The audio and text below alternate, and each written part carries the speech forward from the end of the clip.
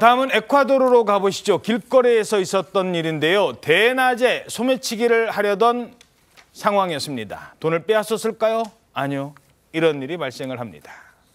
자, 오토바이를 타고 가면서 지나가는 사람에게 돈 내놔! 돈 내놔! 그러니까 아이고 저 여성이 안 돼요. 도와주세요. 지금 그러는 것 같은데 어, 돈 빼고 잘 가는 거 아이고.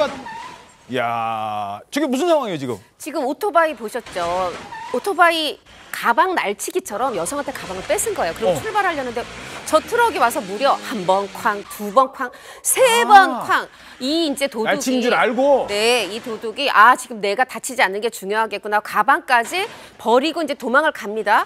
그런데 이 뒤에요. 또 이 트럭이 너무나 아니 저 톰 크루즈인가 싶을 만큼 어, 어떻게 놀라운? 후진 실력으로 계속 따라가요. 아이고, 아이고, 아이고. 그런데 이 트럭이 나중에 와서 또 이 여성 의 어떤 안전까지 확인을 했다고 하는데 아. 이 차주가 얘기를 해요. 이 여성은 내 가족일 수도 있는 거다. 어. 나는 강도를 해치려고 했던 게 아니라 교훈을 주고 싶었다 이렇게 얘기는 했는데 어. 그렇더라도 차로 정말 글쎄, 세 근데 번 이렇게 과격한 행동하다 만약에 저 오토바이 운전자가 상해를. 예, 입고 뭐 후유 장애가 남고 이러면 이 차주에게도 큰 책임이 따르거든요.